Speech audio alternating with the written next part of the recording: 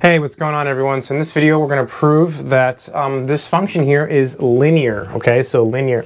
So what does that mean? In other words, it's a linear transformation. So let me recall what that means before we actually um, go through the proof. So a function, let me just uh, do it over, I'll do it over here. So function f from a vector space, say v to w uh, is linear. And here we'll assume that v and w are vector spaces over some field, which is typically like the real numbers or the complex numbers. So it's linear if, so basically for all, the upside down a means for all. So for all u, and I'll put the little arrow there, and v, these are vectors, in our vector space v, we have f of u plus v, so it's additive, right? So it's additive. So this is equal to f of u plus f of v. It's like f is distributing over the addition. You know, it's, a, it's an additive function. And the other condition, and uh, for all u, so for all little u, in our vector space v, and for all c in our field, which I'll call capital F, f, if you take f of CV, so here we have scalar multiplication, right? A scalar, those are the elements of the fields are called scalars. It's like a number, like 3 or 4 or 5, you can think of it that way, times a vector. You can pull the number out of the function, right? It, it's like this, f of v. Notice there's no arrow over the c. That's to indicate that it's a scalar, and not a vector. Okay, so that's, that's the definition of a linear transformation if you've never seen it. Um, but if you're watching this video, you've probably seen it before. But if not, it's okay. Uh, now hopefully it kind of makes some sense. Um, so now all we have to do is prove that this is a linear transformation. So all we have to do is just carefully go through and satisfy these conditions. So proof, I'm gonna write a little bit small. So first we're gonna check the, the first condition that is additive. So take any, so take any, u, and I have to give the u's and v's components, right? Because they're, they're elements of r cubed, right? They're in the domain. So uh, I'm gonna call it, um, hmm, I'm gonna write it like this, x1 y1, z1. That will be our u.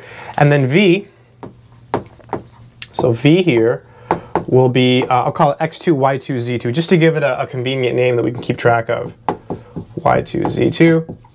And these will be elements in, uh, let me just, I put an and here, so I don't want to use the in symbol.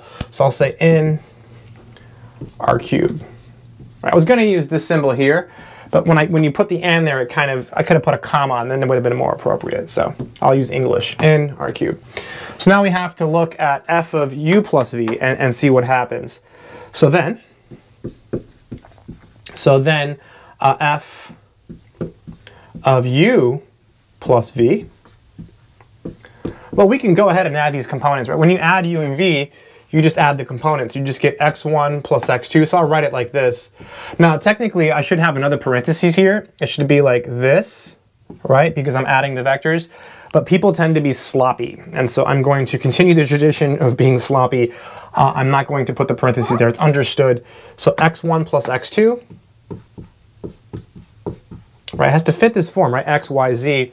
And then we have um, y1 plus y2 Okay, and then z1 plus plus z2. Okay, so we're just directly applying the definition, right? That, that's how you do these proofs. You just just carefully satisfy the definition. Okay, so now we're going to use the definition of f. It's the only thing we can do, right? So it'll be uh, x, z. So this is your x, and this is your z. So this is equal to, so x is x1 plus x2 and z is z1 plus z2. And we somehow have to show that this is equal to f of u plus uh, f of v, right? So you might say, okay, now I can just look at f of u and f of v and add them up and see if it's the same. You certainly could do that, and that wouldn't be uh, incorrect. However, I think I see another way of doing this. I have not done this problem until now, but notice, right? The natural thing to do would be to break up this vector into two vectors, right? It's being added. So let's try it, right? Worst case, I do it wrong, start the video over, or just give up. Uh, so this is x1, z1, x2, z2. Beautiful, right? And then now, I'm going to come over here, so it's a little confusing. x1, z1, right? x1, z1 will be f of x1, y1, z1, right? x1, z1, x1, z1, x1, z1, x1, z1. So this is f of x1, y1, z1. That's this. That's x1, z1. x2, z2, x2, z2, x2, y2, z2, x2, z2, x2, y2, z2. Beautiful stuff. This is plus f of x2, y2, z2. That's how pros do it. I don't know if you can still see here, but this, I'll, I'll come down here. This is equal to f of u, right? That's, that's the first one, right? f of u, right? Because that's your u plus f of v. Beautiful. So it's an additive function. So the first condition is clearly satisfied. Now we just have to check the second condition. So um, I, I want to use the same u, but I won't. I won't be lazy. So take any. I'll just say it again. u. This time I'm just going to call it x, y, z. Just so I don't have the annoying ones. Okay. And uh, r cubed. And uh, c and our field f. Then then what do we have? We have to look at f of c times u. So f of cu. So this is f of c times, and I'm going to write the vector again. So x, y, z, just so you see the extra notation there, right? So see how you have that parentheses there? I, I, I could have had that here, right? Like you, you can actually add it here. You can actually add an extra parenthesis here, and that's okay. It's the same thing, okay? So it causes some confusion, I think, when people are learning. Um, you can distribute the C now. So this is F, uh, it's really bad handwriting, CX, CY, uh, CZ, right? Right? So F of CX, CY, and CZs, right? So what do we have to show? We have to show that we can that we can pull this out, right? That we can pull it out. Um, so now we can apply the definition of f, right? That's, that's the only thing we haven't done. So we started with this, right? We, we wrote down the vector, we distributed. The only thing we can do now is use this. We haven't done this yet. We have to do that to somehow finish the problem.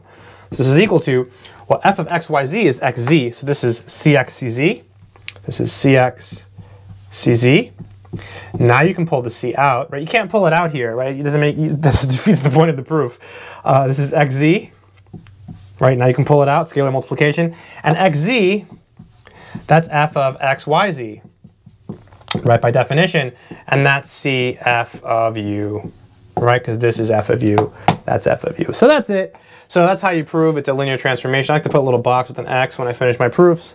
Um, so yeah, I don't know, just some, uh, some mathematics, some linear algebra. Um, that's how you prove a function uh, is a linear uh, transformation. So that's it. Take care.